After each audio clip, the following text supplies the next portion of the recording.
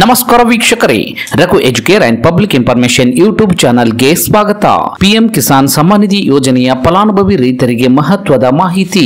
ಹದಿನಾರನೇ ಕಂತಿನ ಹಣ ಈ ದಿನಾಂಕದಂದು ಬಿಡುಗಡೆ.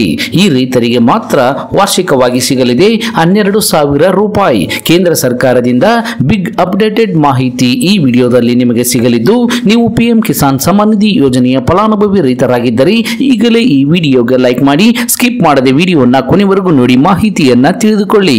ಅದಕ್ಕೂ ಮುಂಚೆ ನೀವು ಫಸ್ಟ್ ಟೈಮ್ ನಮ್ಮ ಚಾನಲ್ ಅನ್ನ ನೋಡುತ್ತಿದ್ದು, ಇದುವರೆಗೂ ನಮ್ಮ ಚಾನಲ್ಗೆ ಸಬ್ಸ್ಕ್ರೈಬರ್ ಆಗಿರದಿದ್ದರೆ ಈಗಲೇ ಕೆಂಪು ಅಕ್ಷರದಲ್ಲಿರುವ ಸಬ್ಸ್ಕ್ರೈಬ್ ಪದದ ಮೇಲೆ ಕ್ಲಿಕ್ ಮಾಡಿ, ಪಕ್ಕದಲ್ಲಿ ಬರುವ ಬೆಲ್ ಬಟನ್ ಅನ್ನ ಒತ್ತಿ ಆಲ್ ಅಂತ ಸೆಲೆಕ್ಟ್ ಮಾಡಿಕೊಳ್ಳಿ. ಹೌದು ರೈತ ಬಾಂಧವರೇ, ದೇಶದಲ್ಲಿ ಪ್ರಧಾನಮಂತ್ರಿ ಕಿಸಾನ್ ಸಮ್ಮಾನ್ ನಿಧಿ ಯೋಜನೆ ಅತ್ಯಂತ ಜನಪ್ರಿಯ ಯೋಜನೆ ಆಗಿದೆ.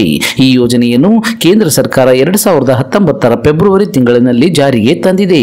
ಈ ಯೋಜನೆಯಡಿ ರೈತರಿಗೆ ಕೇಂದ್ರ ಸರ್ಕಾರ ಆರ್ಥಿಕ ನೆರವನ್ನು ನೀಡುತ್ತಿದ್ದು, ಈ ಯೋಜನೆಯ ಭಾಗವಾಗಿ ರೈತರಿಗೆ ವಾರ್ಷಿಕವಾಗಿ ಆರು ಸಾವಿರ ರೂಪಾಯಿಗಳ ಬೆಳೆ ಸಹಾಯಧನವನ್ನ ನೀಡಲಾಗುತ್ತದೆ. ಈ ಸಹಾಯಧನವನ್ನು ಮೂರು ಕಂತುಗಳಲ್ಲಿ ರೈತರು ಪಡೆಯುತ್ತಿದ್ದು, ಪ್ರತಿ ಕಂತಿನಲ್ಲಿ ಎರಡು ಸಾವಿರ ರೂಪಾಯಿಯಂತೆ ರೈತರು ವಾರ್ಷಿಕವಾಗಿ ಆರು ಸಾವಿರ ರೂಪಾಯಿಗಳನ್ನ ಮೂರು ಸಮಾನ ಕಂತುಗಳಲ್ಲಿ ತಮ್ಮ ಖಾತೆಗೆ ಜಮಾ ಮಾಡಿಕೊಳ್ಳುತ್ತಿದ್ದಾರೆ. ಆದರೆ, ಲೋಕಸಭಾ ಚುನಾವಣೆ ಸಮೀಪಿಸುತ್ತಿರುವ ಹಿನ್ನೆಲೆಯಲ್ಲಿ ಕೇಂದ್ರ ಸರ್ಕಾರ ರೈತರ ಹಿತಕ್ಕೆ ಒತ್ತು ನೀಡುತ್ತಿದೆ. ಇದರ ಭಾಗವಾಗಿ ನರೇಂದ್ರ ಮೋದಿ ಅವರು ಪ್ರಧಾನಮಂತ್ರಿ ಕಿಸಾನ್ ಸಮ್ಮಾನ್ ನಿಧಿ ಯೋಜನೆಯ ಸಹಾಯಧನದ ಮೊತ್ತವನ್ನ ಹೆಚ್ಚಿಸಲು ಯೋಚನೆಯನ್ನ ಮಾಡುತ್ತಿದ್ದಾರೆ. ಕೇಂದ್ರ ಸರ್ಕಾರ ದೇಶಾದ್ಯಂತ ಹನ್ನೊಂದು ಕೋಟಿ ರೈತರಿಗೆ ವರ್ಷಕ್ಕೆ ಆರು ಸಾವಿರ ರೂಪಾಯಿಗಳನ್ನು ನೀಡುತ್ತಿದ್ದು, ಈಗ ಈ ಮೊತ್ತವನ್ನು ಅಥವಾ ಹನ್ನೆರಡು ಸಾವಿರಕ್ಕೆ ಹೆಚ್ಚಿಗೆ ಮಾಡಲು ಮುಂದಾಗಿದ್ದಾರೆ. ಆದರೆ ಈ ಹೆಚ್ಚಳವಾದ ಮೊತ್ತ ರೈತ ಮಹಿಳೆಯರಿಗೆ ಮಾತ್ರ ಸಿಗಲು ಸಿದ್ಧತೆ ನಡೆಸಲಾಗುತ್ತಿದೆ.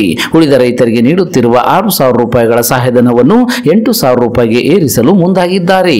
ಈ ನಿಟ್ಟಿನಲ್ಲಿ ಫೆಬ್ರವರಿ ಒಂದರಂದು ಮಂಡಿಸಲಿರುವ ಮಧ್ಯಂತರ ಬಜೆಟ್ನಲ್ಲಿ ಪ್ರಸ್ತಾವನೆಯನ್ನು ಸಲ್ಲಿಸುವ ಸಾಧ್ಯತೆ ಇದೆ.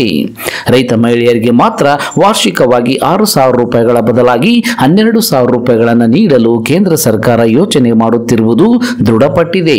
ಮತ್ತು ಇದರ ಜೊತೆಗೆ ಪುರುಷ ರೈತರಿಗೂ ಸಹ ಆರು ಸಾವಿರ ರೂಪಾಯಿ ಬದಲಾಗಿ ಎಂಟು ಸಾವಿರ ರೂಪಾಯಿಗಳ ವಾರ್ಷಿಕ ಸಹಾಯಧನವನ್ನು ಹೆಚ್ಚಿಗೆ ಮಾಡುವ ಸಾಧ್ಯತೆಯೂ ಕೂಡ ಇದೆ. ಏಪ್ರಿಲ್ನಿಂದ ಜುಲೈ, ಆಗಸ್ಟ್ನಿಂದ ನವೆಂಬರ್, ಡಿಸೆಂಬರ್ನಿಂದ ಮಾರ್ಚ್ ಅವಧಿಯಲ್ಲಿ ಕೇಂದ್ರದಿಂದ ಈ ಆರ್ಥಿಕ ನೆರವು ನೇರವಾಗಿ ರೈತರ ಖಾತೆಗೆ ಜಮೆಯಾಗುತ್ತಿದ್ದು, ಇತ್ತೀಚೆಗೆ ಪ್ರಧಾನಮಂತ್ರಿ ಕಿಸಾನ್ ಸಮ್ಮಾನ್ ನಿಧಿ ಯೋಜನೆಯ ಹದಿನೈದನೇ ಕಂತಿನ ಹಣವನ್ನು ಅರ್ಹ ರೈತರ ಖಾತೆಗಳಿಗೆ ಜಮಾ ಮಾಡಲಾಗಿದೆ. ಈಗ ರೈತರೆಲ್ಲರೂ ಹದಿನಾರನೇ ಕಂತಿನ ಹಣಕ್ಕಾಗಿ ಕಾಯುತ್ತಿದ್ದು, ಯಾವಾಗ ಜಮಾ ಮಾಡುತ್ತಿದ್ದಾರೆ ಎಂದು ಕಾಯುತ್ತಾ ಕುಳಿತಿದ್ದಾರೆ.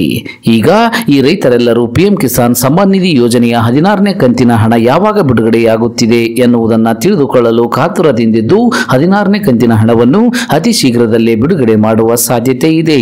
ಫೆಬ್ರವರಿ ಮೊದಲ ವಾರದಲ್ಲಿ ಹದಿನಾರನೇ ಕಂತಿನ ಹಣ ರೈತರ ಖಾತೆಗೆ ರವಾನೆಯಾಗುವ ಸಾಧ್ಯತೆ ಹೆಚ್ಚಾಗಿದೆ. ಇನ್ನು ಈ ಪ್ರಧಾನಮಂತ್ರಿ ಕಿಸಾನ್ ಸಮ್ಮಾನ್ ನಿಧಿ ಯೋಜನೆಯು ಈ ಕೆವೈಸಿ ಪೂರ್ಣಗೊಳಿಸಿದಂತಹ ರೈತರಿಗೆ ಮಾತ್ರ ಲಭ್ಯವಿರುತ್ತದೆ ಆದ್ದರಿಂದ ಪ್ರತಿಯೊಬ್ಬ ರೈತರು ಫೆಬ್ರವರಿ ಒಳಗಾಗಿ ಈ ಕೆವೈಸಿ ಪ್ರಕ್ರಿಯೆಯನ್ನ ಪೂರ್ಣಗೊಳಿಸಬೇಕು. ನಿಮ್ಮ ಈ ಕೆವೈಸಿಯನ್ನು ನೀವು ಆನ್ಲೈನ್ನಲ್ಲಿ ಪೂರ್ಣಗೊಳಿಸಬೇಕು. ನಿಮ್ಮ ಖಾತೆಗೆ ಆಧಾರ್ ಸಂಖ್ಯೆಯನ್ನು ಲಿಂಕ್ ಮಾಡುವುದನ್ನು ಸಹ ಮಾಡಬೇಕು. ಇದನ್ನು ಮಾಡಿದವರಿಗೆ ಮಾತ್ರ ಖಾತೆಗೆ ಹಣ ಬರುತ್ತದೆ ಎನ್ನಲಾಗಿದೆ. ಸೊ, ಹೀಗೆ ಹದಿನಾರನೇ ಕಂತಿನ ಹಣವನ್ನ ಪಡೆದುಕೊಳ್ಳಬೇಕೆಂದರೆ ನೀವು ಈ ಕೆವೈಸಿಯನ್ನ ಕಡ್ಡಾಯವಾಗಿ ಮಾಡಲೇಬೇಕು. ರೈತ ಮಹಿಳಾ ರೈತ ಫಲಾನುಭವಿಗಳಿಗೆ ಮಾತ್ರ ಆರು ಸಾವಿರ ರೂಪಾಯಿಂದ ಹನ್ನೆರಡು ಸಾವಿರ ರೂಪಾಯಿ ಹೆಚ್ಚಳವಾಗುವ ಸಾಧ್ಯತೆ ಇದೆ. ಅದು ಉಳಿದಂತೆ ಪುರುಷ ಫಲಾನುಭವಿಗಳಿಗೆ ಆರು ಸಾವಿರ ರೂಪಾಯಿ ಇರುವಂತಹ ಮೊತ್ತವನ್ನು ಎಂಟು ಸಾವಿರ ರೂಪಾಯಿಗೆ ಹೆಚ್ಚಿಸುವ ಸಾಧ್ಯತೆ ಇದ್ದು, ಫೆಬ್ರವರಿ ತಿಂಗಳಲ್ಲಿ ನಡೆಯುವ ಬಜೆಟ್ನಲ್ಲಿ ಈ ಬಗ್ಗೆ ಸ್ಪಷ್ಟವಾದ ಚಿತ್ರಣ ರೈತರಿಗೆ ಸಿಗಲಿದೆ.